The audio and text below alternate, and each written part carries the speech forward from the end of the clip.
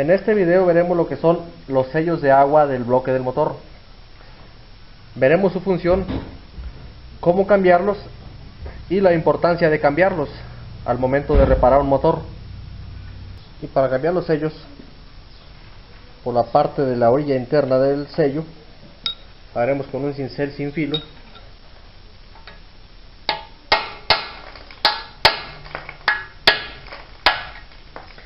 hasta que el sello se gire. Ya una vez que el sello se gira, solamente es cuestión de, de botarlo. La función principal de un sello de agua es que al momento de reparar el bloque se pueda quitar para poder limpiar bien lo que es la parte donde corre el agua del motor limpiar perfectamente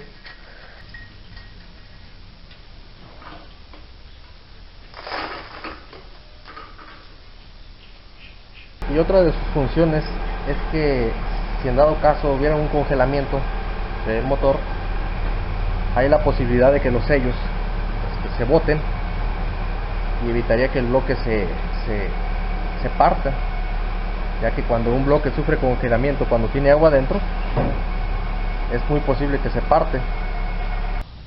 Una falla muy común en el sello de agua es que comienza a tirar comienza a tirar agua debido a que internamente se, comienza a picar hasta que se perfora.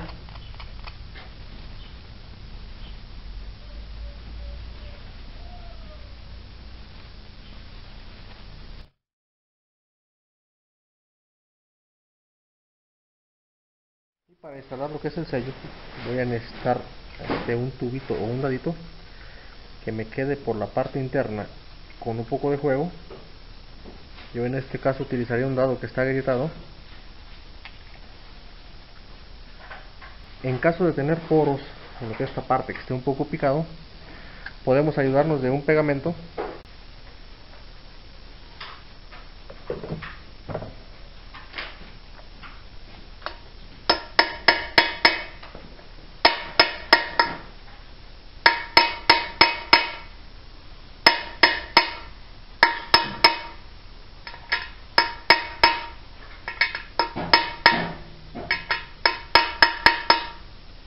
y el alojamiento del sello tendrá como un rebaje y la orilla del sello me quedará justo donde termina ese, ese rebaje.